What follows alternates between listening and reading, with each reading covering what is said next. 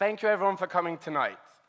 Rising to fame in 2004 with his debut album, Back to Bedlam, which sold over 11 million copies, our guest tonight has topped the music charts around the world. Having told the Sun newspaper that you have to be a brave, brave person to admit that you are a James Blunt fan, I know we're all very excited to have him here today. Ladies and gentlemen, please welcome James Blunt. Thank you very much. Thank you. Hi there. Hey, thanks very much, John. Go on then. Thank you. Hi. Hello. Hey, well, thanks so much for having me. No, thanks so much for coming today. It's your first time in Cambridge, you said? It is, but it's been a long time since when I offered a free dinner, so I thought I would drive up from London and hey, no worries at all. I mean, take you up on your offer. Yeah, no one, no one said it was free, but um, in any, you spend the formative years of your life growing up at Harrow School. Um, how did boarding school affect your experience of, of growing up, um, and what were you like? Um, I took to being beaten and, and rogered pretty like a duck to water. Um, and yeah, I think um, I enjoyed it. Uh, I think, you know, you, you, we, I was still there at the time of fagging, um, which just means that I uh, had a senior, when I arrived, I was, you know, as the junior boy, I had a senior boy in the top year who I didn't know his actual name. I was only allowed to refer to him as God. Uh, and I had to go and wake him up in the morning, open his curtains, bring him tea, um, coffee, change his sheets, and, uh, and he would, on the weekends, give me cigarettes and alcohol. Um, and it was a fantastic uh, relationship. And then after, uh, and when I, when I was in the top year, he came back to school, and I just didn't know how to refer to him other than God. you know, hey, God, how you doing? so anyway, I haven't heard from him since, but it was a, it was, it was a special time. So, so you've lost your connection with gods. Um, were, you, were you popular in general? Did you, were you sporty? Were you musical? Because you didn't always intend to go into music. Yeah, I mean, I did take up music, but, um, but no, I'm a smaller man, so I have small man's disease, Napoleon complex. So I'm quite pushy and punchy. So I, so I knew I was going to join the army, and, and I liked uh, you know, tennis, and I can run forever, which is really boring. Cross country running is the most boring sport in the world, mm. and, and I hated it, and unfortunately I could do it. But I did always uh, know that I wanted to do music, um, again, because I'm small, and how else are you going to impress girls? Um, and, uh, and so, yeah, and so uh, that's what I said I was going to do. So you, you said that you know you wanted to go into the army. Your family has a history with the army that dates back to the 10th century, is that right? Yeah, um, uh, so I'm told that yeah. um, my original name is Blonde, blonde-haired um, Vikings from Denmark um, uh, related to King Gorm, um, who was not Gormless. Exactly. And leaving school, uh, you joined the army for, you were obliged to join for four years and you stayed for six. Um, yeah, how, how was that? Yeah, so, um, so the army, I don't know if they still do it, but the army do an amazing thing where because uh, the parents, or you know, father in my case, are, are, are traveling and moving around, and we spent time in Germany, Hong Kong, Cyprus, um, as far uh, abroad as Yorkshire.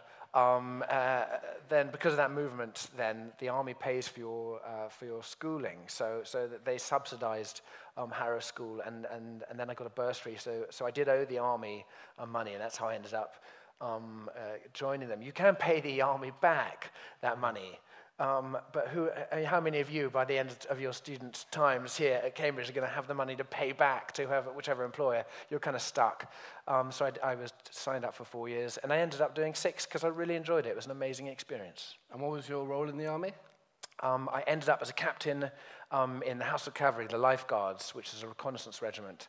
So um, my, my uh, specialist training is creeping around in bushes, no. uh, which I've taken on into my music career as well and I know where most of you live. Uh, and, uh, and it was an amazing, it's an amazing job, really, where, where uh, I suppose, you know, you have guys who go out with guns, and, and, and I would go out instead with the laser um, and point it at people and, uh, and fire my laser at people, and then aircraft would come down and, and follow the, the laser and drop their bombs on it. Yeah. I'll just let that, that. Um, one of the things that I have read is that whilst you're serving the army, uh, you strapped your tank, or you strapped your, um, you strapped your guitar to the outside of your tank in. Kosovo, which is very poetic and a picture scene. Um, were you always interested in music? I mean, why did you have a tank and a guitar in Kosovo? um, yeah, uh, well, I was given the tank. I bought the guitar. No. Um, and, and I strapped the guitar to the outside because I wasn't allowed to strap the soldiers to the outside. um, and, and I really wanted to look after that guitar and stick it on the inside, but now I was told it, that it didn't fit. So I stuck it on the outside. Everyone, when you're going, you know, it's a weird thing when you're sent off to war. Going to war, and what are you going to take? And so you take, you know, your, um, your, uh, all the things that you're going to need to protect you, your helmet and your body armor, and you're going to, and the things that you're going to need um, to, to attack, like you know, weapons and ammunition. But then you're going to think you're going to have a lot of downtime, and so everyone thinks, what am I going to take? A pack of cards is really useful. Someone's going to take that and a, and a football, and, and then some annoying person brings a guitar mm. um, to sing. You know, all we're saying is give peace a chance. Um, in whichever war zone. And, and in fact, my guitar that was strapped to the outside of my uh, tank, I've just found it up in the attic uh, about a week ago um, uh, because it survived. 1999, Kosovo, uh, uh, with all, all of the, the, action that we saw, and it was a pretty amazing experience. Um, and, and it survived, and it came back in one piece. And then, as I was trying to get a record deal, I, I went out um, and I was uh, recording demos for EMI Music. And it went really well. And they said, hey, you know, you're going to be a star one day. And I, and I left them and I put my guitar over my back and I had a, a motorbike um, because, again, I'm a smaller man trying to impress girls. Uh, and so you get the theme. Uh, and so I put my guitar over my back and I climbed over my socking great Moto Guzzi V11 Sport silver thing. I looked, for the first time in my life, I looked cool. And, and I revved it with all of EMI watching and I revved it and at one mile an hour, I fell over and I smashed the indicator, the mirror, and I smashed the guitar. And, and then the bike was so heavy I couldn't lift it up. So they all had to lift it up for me, and, and they, were, they were laughing their heads off, and, and I was laughing on the outside, but in the inside I was crying, and I drove around the corner. I drove around the corner, and I stood off, stood off the guitar. I stood off the motorbike, thought, oh, you prick. Um, and anyway, I wasn't signed by EMI Music. signed to Warner. did, your, did your experience in the army change you massively? Yeah, absolutely. Um, Were you expected to go into the army as well? yeah, yeah, very much. I was, well, no, you know, I was just shown the army. I think parents just show you what they know, don't they? You know, parents want you to just have a good life, a happy life, a safe one, and so parents just introduce you to whatever they know. Um, and so, uh, so my dad introduced me to the army, and, and also knowing that your father's done something is a, is a great way of accessing it because you know that if he can get into something like that, of course I can get in. Any exam he's going to do, I can do that. Uh, and so it was just a path um, that I followed. And, and yeah, and, uh, um, and it's definitely worthwhile. I'm in the music business now, but the music business is really hard work. Um, and despite what you read in the magazines, there's a lot of graft that goes on, and, and it was really useful to be after university, I just was, you know, life was easy. I, I had six hours a week of lectures. I don't know how, maybe at Cambridge you have more. Um, but I finished in sociology uh, and uh, with, with a Desmond. Um, and, and, uh, and so uh, my wife doesn't even know that. She, I think I lied to her about what degree I have because. Um, and, and so the army was very good at kind of getting you back up to speed, where life is not about six hours a week. Life is, you know, maybe it's more than 36 hours. It's, it's a hell of a lot. It's, uh, and, and the music business, if you want to get anywhere, you've got to work. Yeah. So how do you find yourself selling over 20 million records of one song alone? So going from the army to, to going where you are today? I wrote You're Beautiful. so... just to fill people in, uh, James's Twitter bio says one song is all you need. um, what else was there? Because there is actually deep down more than just one song. Yeah. Sounds like you, you don't even believe that. yeah. The Rolling Stones are still, still looking for that song. Yeah. Makes me kind of smug. Um, but um, yeah, well, I suppose, uh, to, I don't know if any of you are trying to get into the music business in, in any way, um, but, it's, uh, but it's, there's one person over there. You are, aren't you? okay, you are. No. Um, okay, well, I'm in it. Yeah. And it's just a really weird thing of uh, getting in because uh, because I just didn't know anyone in the music business, and it's a really tough industry.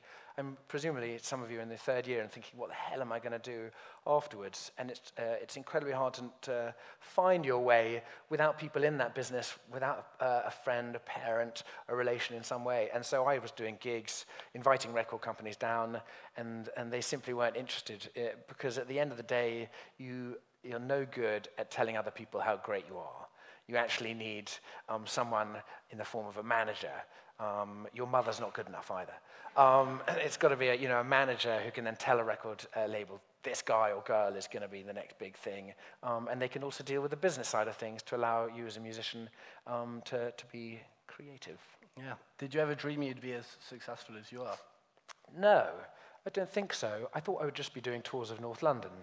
Um, so to be doing tours of the world has been amazing.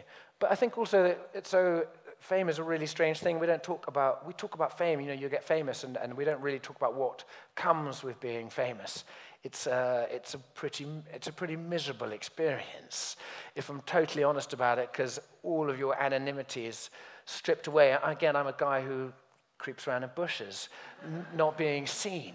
Um, and, uh, and then to be spotted and seen, uh, but, but not just by the members of the public, but by members of the press. So when your phone is hacked, which mine has been, um, when your emails are hacked, which mine have been, when you have uh, photographers on your doorstep and people going through your bins, that, that side of fame is, uh, is a strange thing. So, so so I would uh, aspire to being a musician who was touring and doing that. But when I said famous musician, now I wish I just said jobbing musician instead of famous musician, perhaps. And do you have any particularly prominent, embarrassing celebrity memories?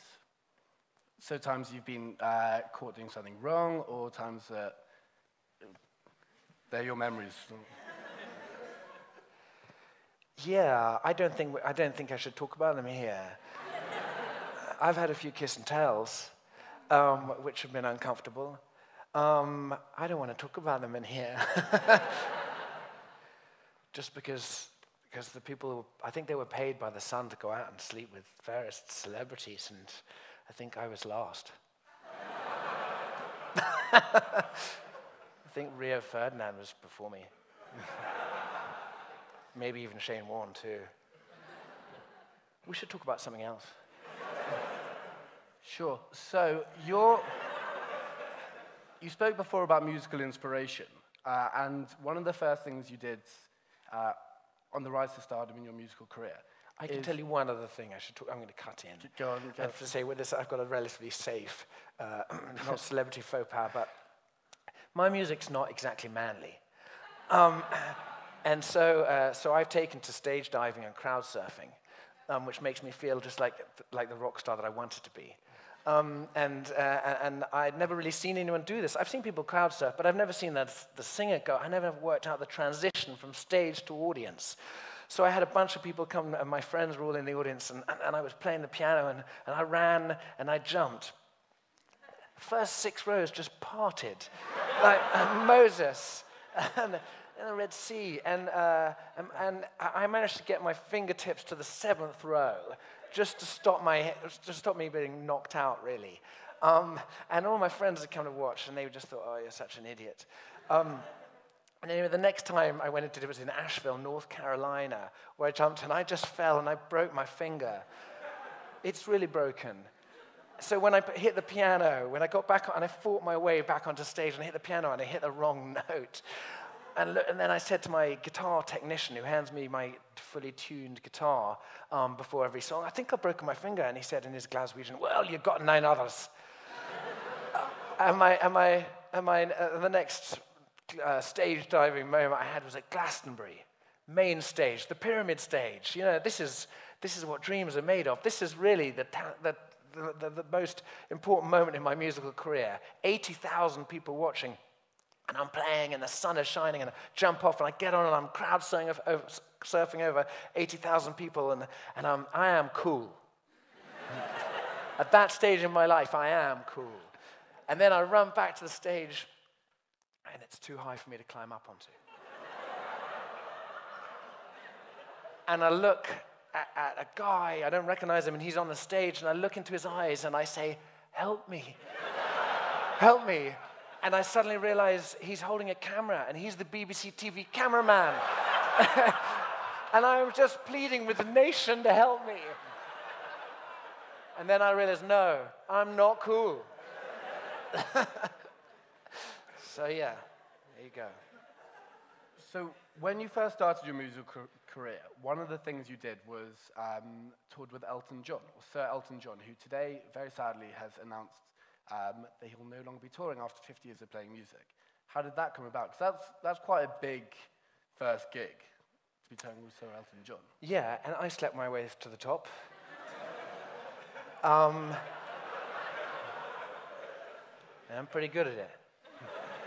Um, uh, Elton, I really can't speak more highly of a human being, you know, because he's a man who's been in the press a lot and been given a lot of jip and a lot of grief um, just because he's been kind of, you know, tabloid fodder at different stages of his life. Um, but it's worth talking about a man who gave me the most serious leg up my career. My first proper gig with my first ever band, I played to 50 people, and, and you know, I think 49 of those were friends of mine. And the other, one, other man was the sound man. Um, and the very next day, I played to 50,000 people um, in Ipswich Football Club uh, as supporting Elton. And then he took me to tour around South America and tour um, all of the UK as well. Um, and the opportunities um, were phenomenal. And, so, and I really think without him, I wouldn't have had that chance. But, but I had that chance because he started up a, a management, management firm called Rocket Music.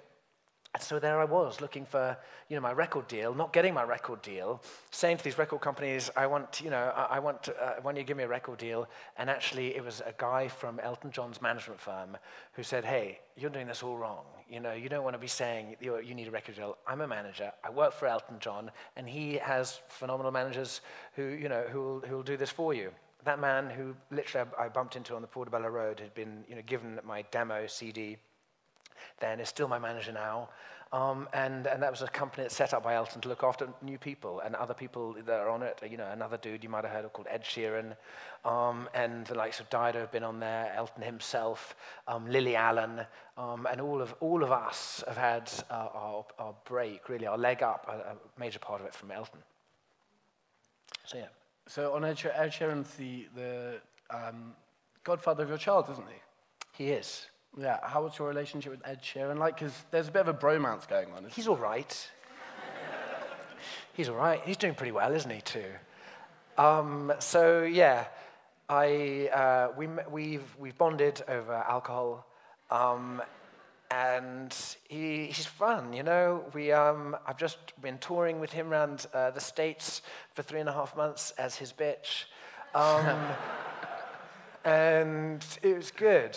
I mean, I, I, don't know if any of you are big fans of Ed's. I don't know, as a groupie of uh, his myself, or I would say is if you are, if you find yourself in a bed with him, always make sure on the sides of the bed nearest the window, because he's up and down to the loo all night. um, uh, but, uh, but we've had a pretty amazing uh, three and a half months touring the States. We had our mission uh, beforehand to eat a thousand chicken wings. And I think in three and a half months, we probably did 500 each. So we reached 1,000, but that's why we both look very, very unwell. yeah, what, what a perfect duo. Um, you spoke about touring a lot. Do you ever get bored of it? Do you ever get bored of singing You're Beautiful or Goodbye My Lover? I get bored of that question. Um,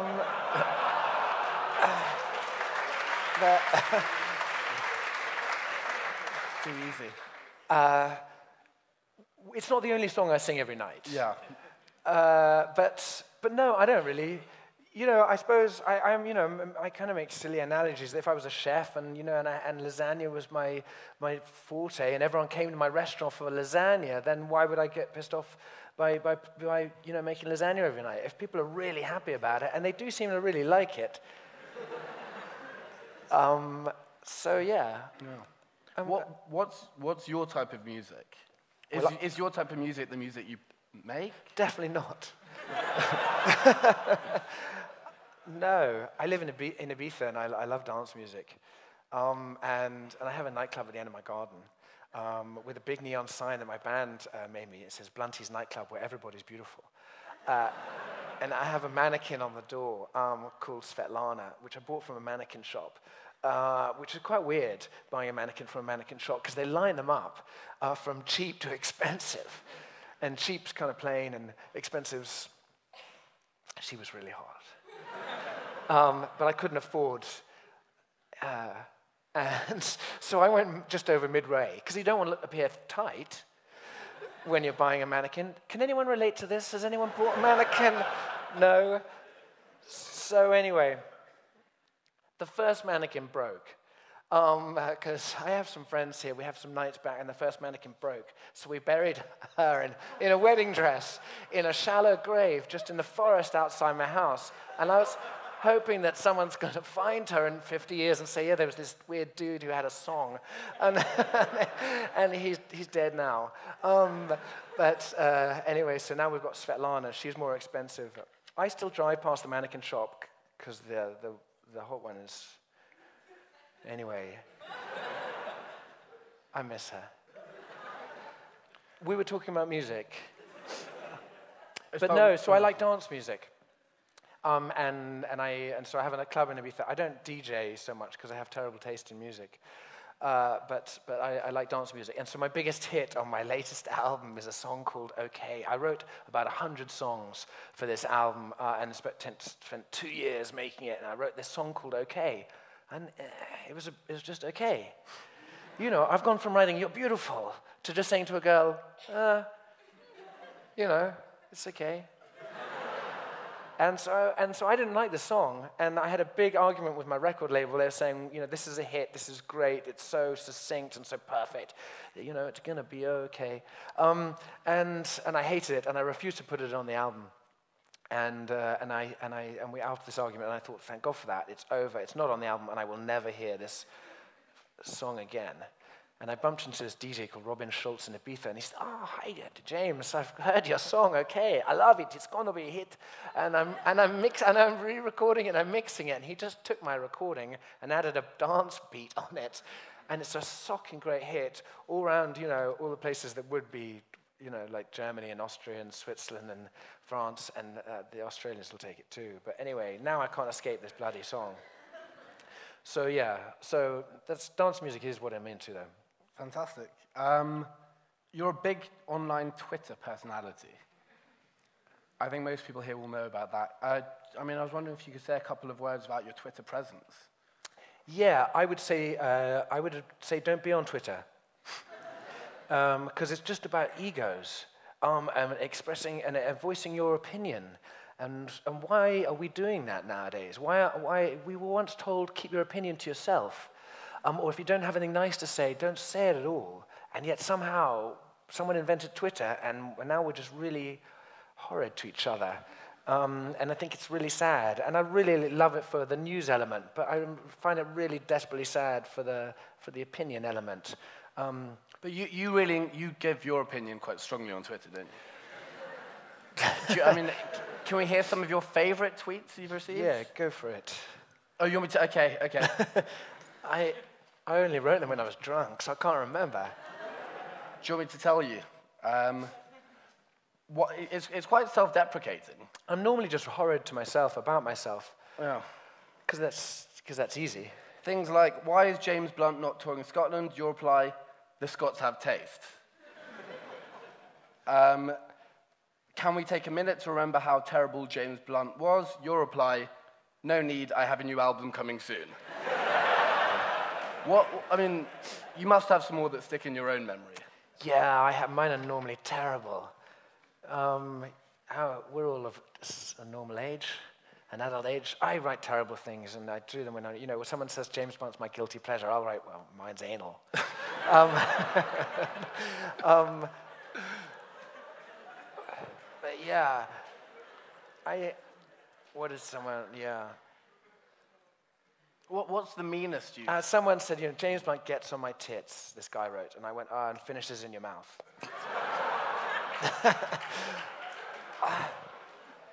I mean, I just think yeah, it's just not worth doing, is it? Um, so yeah, it's a strange thing, and I, only, I don't go on it very often. I'm really embarrassed. This is a prestigious establishment. I was really honored to be invited here, and I've really brought the level down, and I, and I apologize. And since you found yourself on Twitter, has the abuse gone up or has it gone down? It's totally disappeared. Really? Yeah, I really have nothing. scared. I have no material to work with anymore. I now ask friends to be rude to me. Because no, people don't seem to. And I think it's weird, again, because Twitter is, it's a digital uh, notice board, like you'd have here. You know, if, if you have a, the corridors here and someone can just put up so, something, you know, of their opinion. And, and why on the notice board in your, uh, in your hall would you then just put up something horrid about someone for so everyone else to walk past? And that's what, for me, Twitter is. And so it's just a stra- strange old thing. And, um, and no, I'm, I'm not, I don't think it's a great invention in that way. Yeah. And you, I do enjoy messing around on it. But you know what I also think is I think it's not worth taking seriously because it's a digital world where there's a real world out there of things that are much more engaging where people are getting off their asses and, and doing stuff. And so I'm really, really lucky that I play concerts to, you know, to 5,000 or 10,000 or 20,000 in, in places with, with bad taste, Kazakhstan. Um, and, and the people who come, who come to those concerts, um, as brave as they are, you know what? They've, they've, they've worked for their money to buy the ticket, and they've fought for those tickets in queues, and they've traveled some distance, and they've queued up in the rain, and they've come in there, and they've, you know, they've learned my songs, and they sing these songs with me. And, and, and why is it that, that you and I might focus on one or two or three maximum people uh, who, who write something negative? Because those people, they haven't made any effort or spent any money or traveled any distance. They're in their, their rooms, at home, online, probably with the curtains closed, maybe with their trousers around their ankles, writing something nasty about someone they don't, they, you know, don't know. It's, and yet we take them seriously. We should laugh at ourselves, really, for, for, for even taking the time to find that tweet. yeah. I think it's time now to open up to the floor to everyone. So if you have a question, just raise your hand uh, and wait for the mic to get to you. Yeah, sure. Can we, can we go straight to the front, if that's all right? Thanks very much for your talk. Um, you said earlier that your music isn't particularly manly. Is that a conscious decision um, alongside you and friends like Ed Sheeran and Jamie Lawson to kind of normalize a softer side to men? Yeah, you know, and I'm just saying so, aren't I? At the end of the day, um, I, I, I really love what I do and I take it really seriously, um, and, and it pays my bills. So I don't mind it for that reason. Um, and that's why I don't mind singing the song every night, too. Uh, uh, but I think uh, what I found when I was 14 as a man in England, Englishman, is that it's quite hard to explain, you know, this weird thing that girls talk about called feelings. Um, and in a pub with my mates, I really don't want to talk about those things either. I just, you know, I want to talk about the, the football. Uh, and, and yet, you know, we as men, we do have these things called feelings too. And so I found I could get them out in songs uh, and, uh, and and also, you know what, as a, as a soldier, my job was to have the eyes and ears of my commanders, to be really sensitive of the surroundings. And my friends would tell you, know, I'm aware of what's going on around me. If, uh, you know, I, I- I'm good in a riot. Um, I, I can sense what's going on around me. That's my job. But as a, as a songwriter, um, that's my job too, to, to be sensitive to my uh, surroundings, um, to be sensitive and report back to my, to my superiors, you know, you, an audience. Um, I, I, I, see what's going on and I feel what's going on and I write a song about it and I capture it into words and, I, and, I, and then I, and I sing it out to um, my commanders um, out there in the audience. Um, and, and that's why some people, you know, connect with those songs. They say, yeah, you know what, I feel the same way. I struggle to put it into words, but I feel the same way. And, and I sing a song like Goodbye My Lover from my first album. And to me, it's, it's about, you know, this girl, she doesn't mean so much to me. I'm sure she's fine, whatever she's doing. Um, uh, I know where she lives too, by the way. um, but, uh, but you know, but, but to some people that song means much more to them. It means uh, it's for them that song means someone who's died and things like that. And they will come and tell me, "Wow, that song means this." You know, when I watched my husband die of this, um, and, and and that connection with humans is something really special. And, and then it's, it's where I do my job, really. And also, you know, I laugh about it all the time, but in, in, a, in a day and age where politicians tell us that we're all different um, and we should be afraid of everyone who's different, from black and white and Muslim, Christian and Jew and men and women and gay and straight versus straight, we're all pitted against each other. And that's particularly what the politics of the world is today.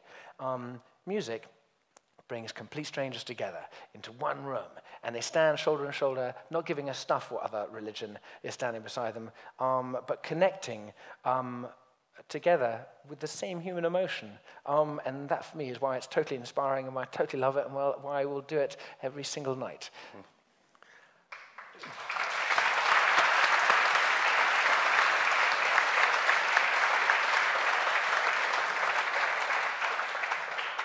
Are all your songs based off real experiences? Because you wrote over 100 for the last album. Yeah, they are, definitely. I'm not all present and things. You know, I, I'm married now, um, and so I can't be continually writing miserable songs because um, she gets worried. But misery, but misery sells. Uh, so I have, so I do say to her, hey, you know, darling, I'm, I'm, this album, I'm going to write some really miserable songs, and I'm going to have to create some scenarios, but they're not about us. Um, can we go to the, the back just by the window? He's got headphones, so that makes me nervous. That He's um, listening to your song, or? Two short questions. Uh, one, does your uh, view of the standard Twitter user extend to President of America as well? And two... Sorry, say the first bit. My, does my... View of the average Twitter user extend to the President of America as well? And two, could you comment on the uh, This Is Belonging campaigns that the Army have put out recently? I don't know if you've seen them, but I'd just be interested to hear what you think. Yeah, I think uh, Donald Trump is a genius on Twitter. I really genuinely do. I think, you know, I, I, uh, I despise his politics and everything to do with it. I think it's desperately sad um, where he, the path that he's taking us as a world uh, uh, in our politics. But I think he's a genius with it.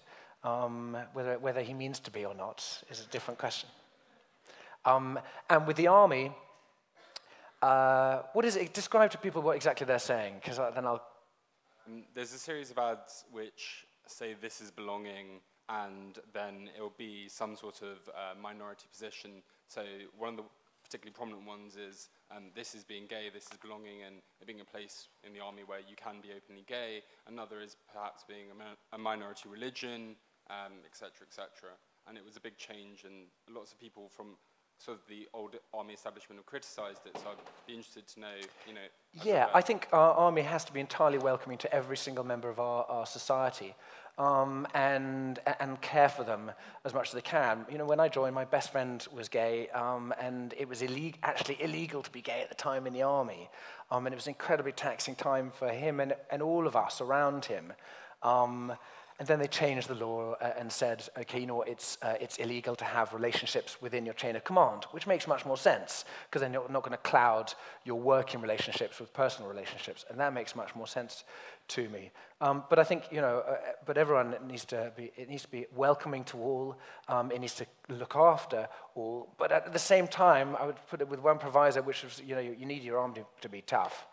Um, and, and they, need to, they need to go out there and, and do, um, do the job which, um, which has no cushioning at the other end. And just while we're on the topic, you're involved extensively in, in Doctors Without Borders and Help for Heroes as a result of your time in Kosovo? Yeah. Um, I, when I was in Kosovo, uh, again, I, because I'm in reconnaissance, I was pushing ahead of, uh, of the main forces. Um, and and so I really thought I was doing a tough job. We, you know, we, we were at the forefront and we really thought we were the, the, the, guys. And we would come around the corner and everywhere we went, we would bump into these men and women of the organization Doctors Without Borders, Médecins Sans Frontières. Uh, and, uh, and there they were, without protection, um, giving medical care and attention to the people who really suffer in war, which is not soldiers, it's civilians. Um, and they were totally inspiring people. Um, and, and if you ever hear their name, it's really worth learning more and, and, and, uh, and donating if you can. Um, uh, and, and so, yeah, so when I now go out and do music, we raise funds for them because I think they're mind-blowing. And At the same time, I, uh, we raise funds for Help for Heroes and for wounded soldiers from my own regiment.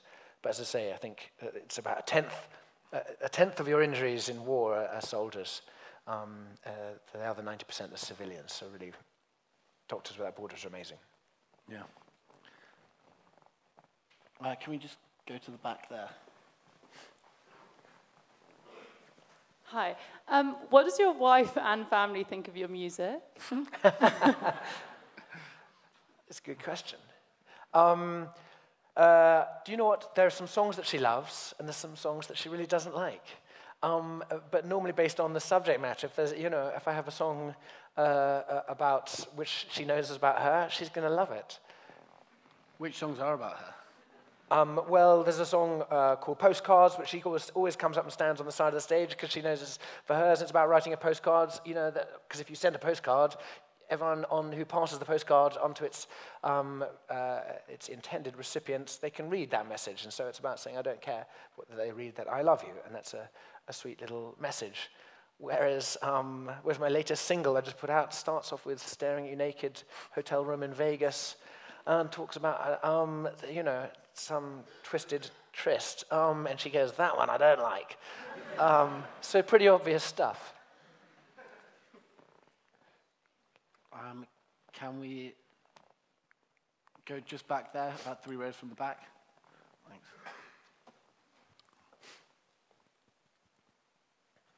Hello, thank you for the speech. I was just wondering uh, a couple of questions. The first one is, what's your opinion on the renewal of uh, vinyl in the music industry, and do you think you'll get more involved with that in the future? And the second question is, um, I'd like to offer to buy you a beer later in the bar, if you've got the time. thank you. Let me deal with the most important question. The latter, yes. um, definitely. Um, and yeah, vinyl's coming back. It's a strange old thing. Um, all my albums are now available for you. They, they, they were available on vinyl anyway, but we put them out on vinyl now. Uh, and it's a fantastic thing to hold and feel. Um, and, uh, and I have all of them on vinyl, and I, and I don't have a record player. uh, I, imagine, I wonder how many people are in the same position as me. Can we just go, yeah, to the third row here? No, yeah, to you, yeah, to you. You had your hand up. Hi, thank you for coming. Um, I was wondering whether you having any other collaborations like uh, with Markus Schulz or any other um, dance music. I do. I do in February, but I'm not allowed to tell you. Who but yeah, be, it's another uh, yeah another dance thing, another dance collaboration. Who would be your dream collaboration? I'd love to play with Jimi Hendrix, but. He's not answering my calls, so. And yeah, just the one behind you. Oh, you had your hand up before. Okay, yeah, just there. Hello. Um, in several of your interviews, you've mentioned for this latest album, After Love, you wrote um, like 100 songs or over 100 songs. Are they kind of ones that you've written and went towards the making of the After Love, but won't be seen again, or will you return to them and uh, develop them for future albums? Um, I ha- yeah, having written 100 songs and put 10 on an album, that means I've got 90 lying around. And I, of course, you know, thinking now I must do a new album. The record company is pushing me for as fast as possible, as they always do. I did go and revisit those 90, and they won't be coming out because they're all crap. Can we just go to the front row? Hello, thank you for your songs. Um, I have two questions. Uh, one is regarding your view about whether songs are like poems or poetry writing. Do you think you can do both at the same time as a musician? And the second question is regarding your uh, previous experience as being in the army. So if you're given another tank to go to a war, would you, would you go and experience it again in a different period where we are truly going through a very difficult time and um, say you would, would you accept going to Afghanistan to serve in the army? Thank you. Um, uh, with uh, poetry versus songs, I think um, poetry is probably much harder because you've got to, it's, it's got to stand up on its own two feet just as just with words. But music, um, you can hear, you know, a chord and it can give you an emotion. Um, so, so I think it, probably writing a song is easier than being an, an accomplished um, poet. Uh, but actually, on songwriting, I would say that often I write songs with music and then I, and I put some words to it. But if I've written the words first and then I put the words to music, then it's going to be a much better song. Um, and, and yeah, all of my biggest hits, I wrote the, the words first. Uh, uh, as to going to, um, if I was in it, would I go back to the army almost is the question, and would I uh, agree to be sent out uh, on different things. Well, you, you know, the soldiers don't get to choose. Um, and uh, and, that and that's, there's a good reason, because they'd all say no to most things.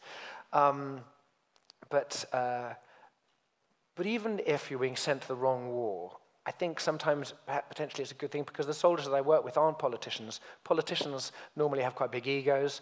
Politicians love to flex their muscles um, and, and use the weapons that they've got available to them.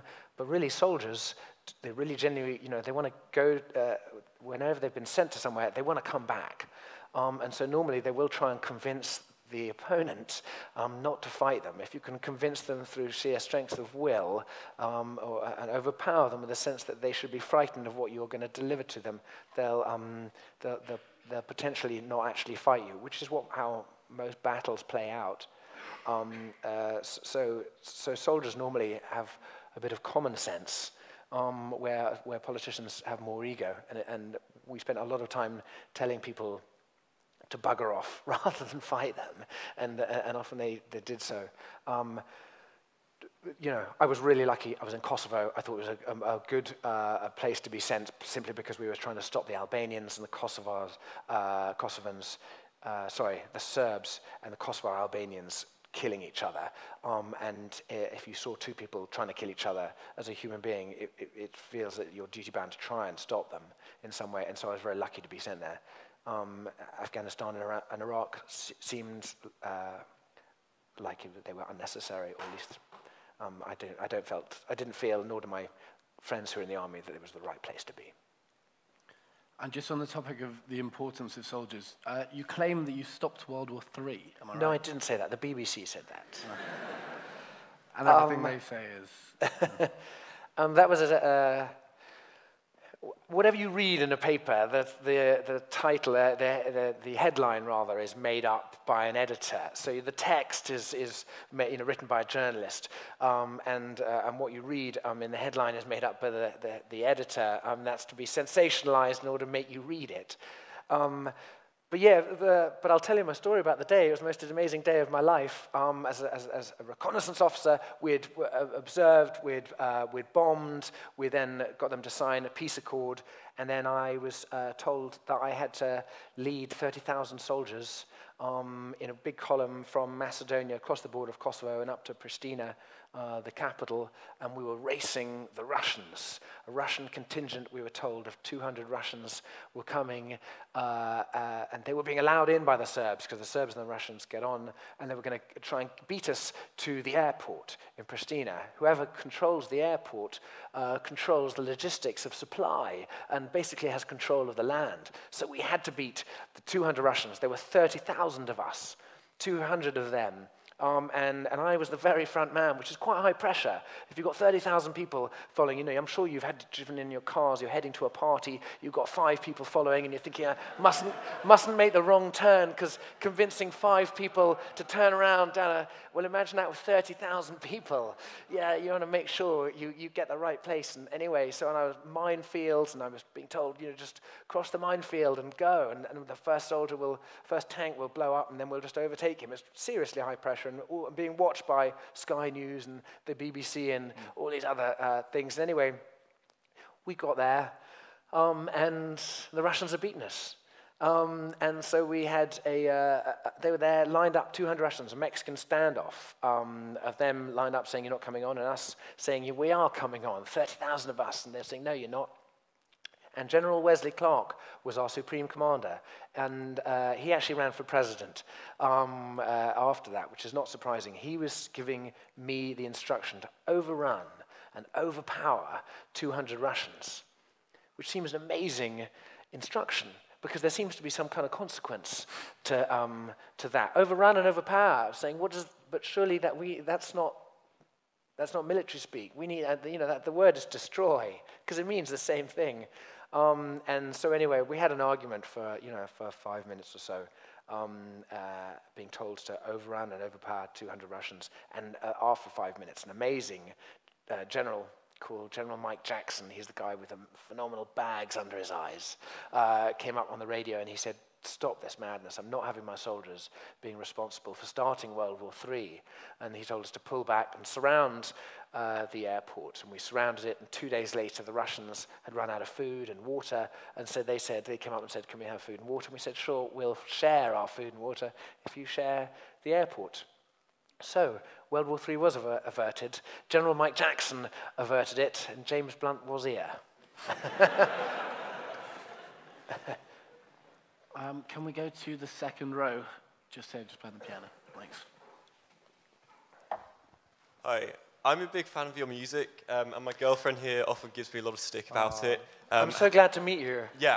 It's, I've, been, I've been looking for you forever. I'm here.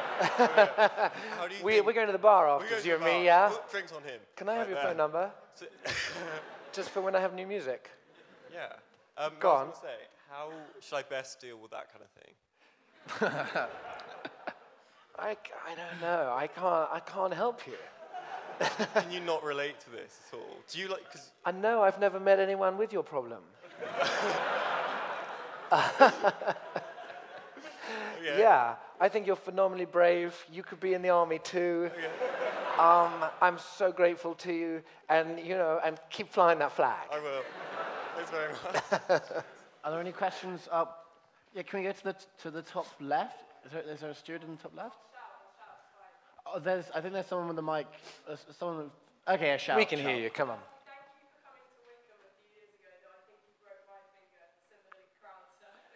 okay.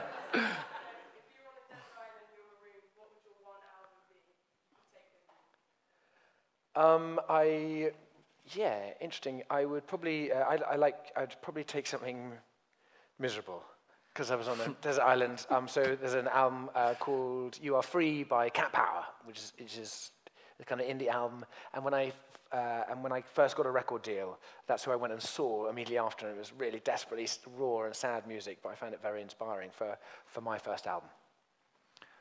And one final question. Um, can we go just set to the third row? Is it all right for the mic? Because then it comes up on, on YouTube. On YouTube. If you're taking requests for music, could you possibly play 1973? It's sweet, but I've forgotten how to play it. on, on that incredible note, you may have noticed uh, we do have a piano and we do have a very, very famous musician with us. Okay. Um, so yeah, very kindly he's agreed to perform for us tonight.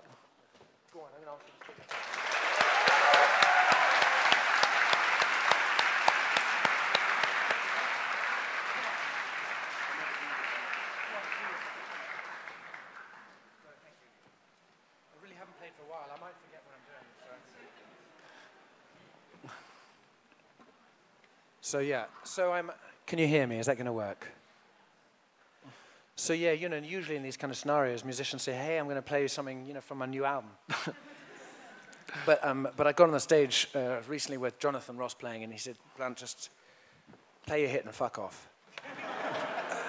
so I'll play. I'm just going to play two from uh, from my first album, because yeah, I know that.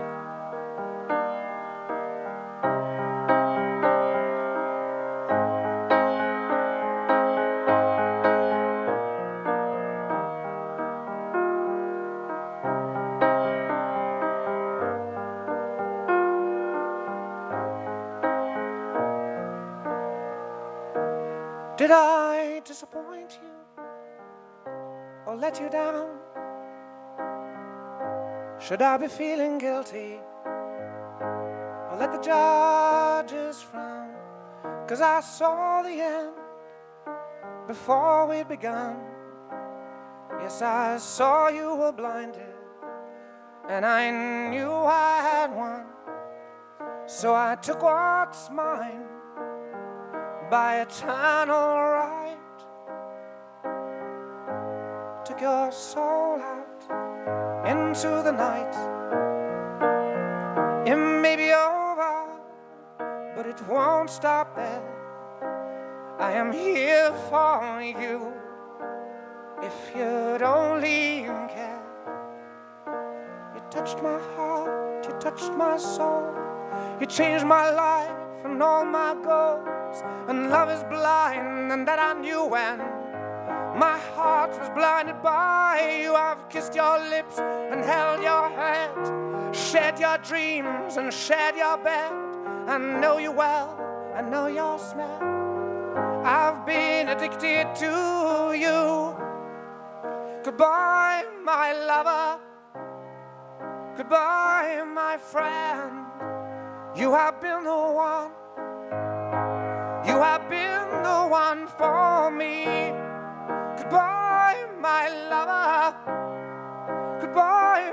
Friend. You have been the one. You have been the one for me.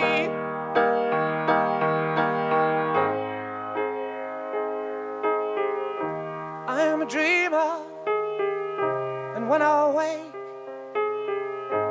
you can't break my spirit. It's my dreams you take, and as you move on, remember me. Remember us and all we used to be. I've seen you cry, I've seen you smile, I've watched you sleeping for a while. I'd be the father of your child. I'd spend a lifetime with you. I know your fears and you know mine. We've had our doubts,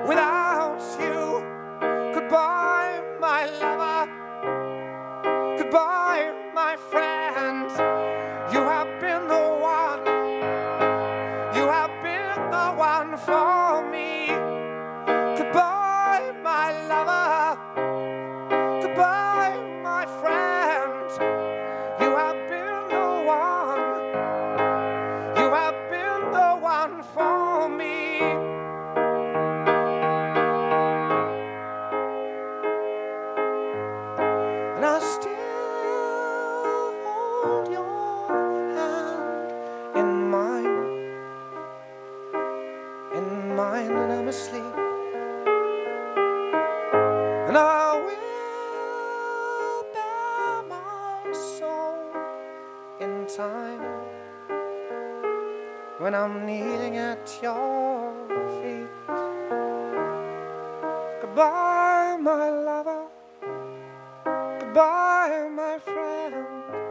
You have been the one.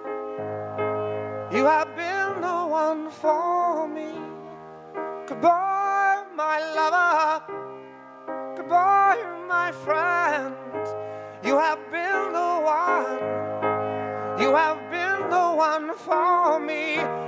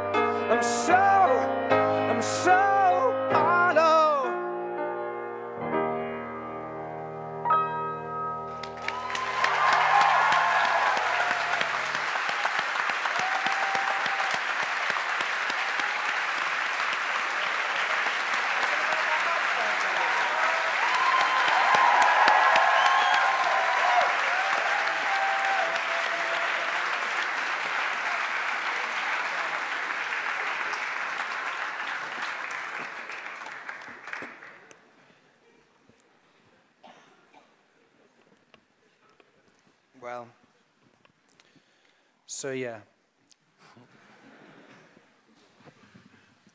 So we're ending on a happy one? or not? Okay, let me just sort myself out.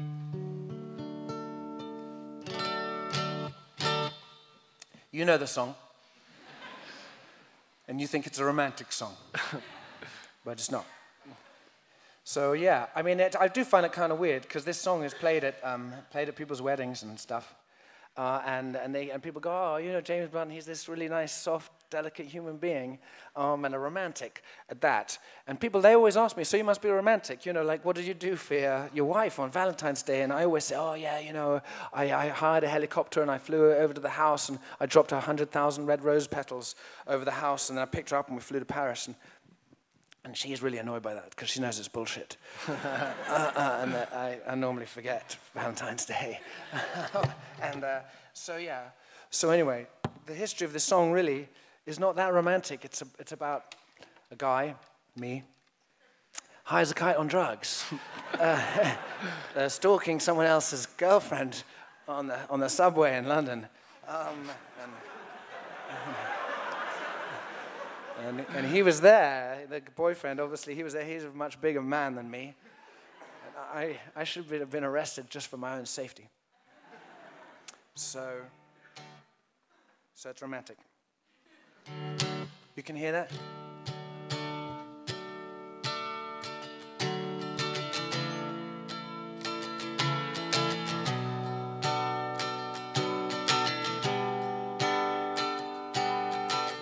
My life is brilliant.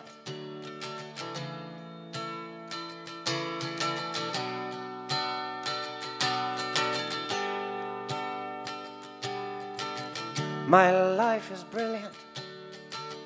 My love is pure. I saw an angel, of that I'm sure. She smiled at me on the subway. She was with another man. But I won't lose no sleep on that, cause I've got a plan. You're beautiful, you're beautiful, you're beautiful, it's true. I saw your face in a crowded place, and I don't know what to do. Cause I'll never be with you.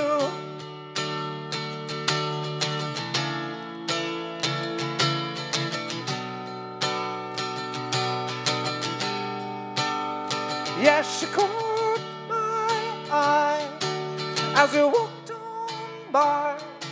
She could see from my face that I was fucking high, and I don't think that I'll see her again. But we shared a moment that will last till the end.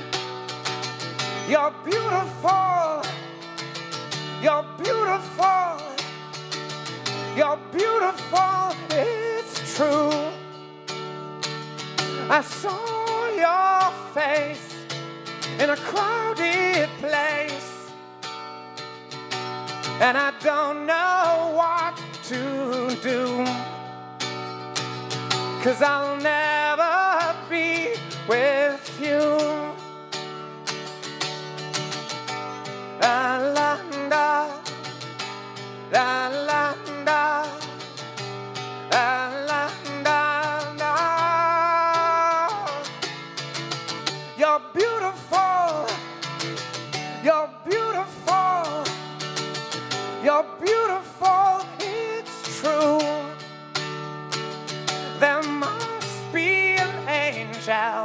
with a smile on her face when she thought up that I should be with you.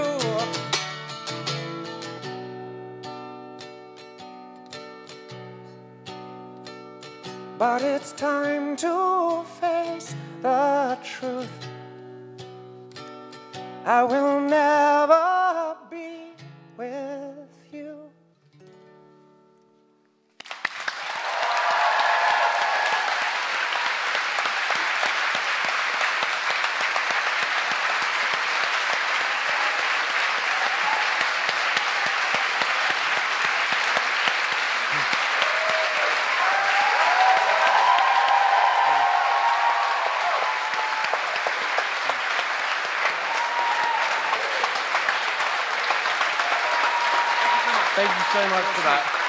you go?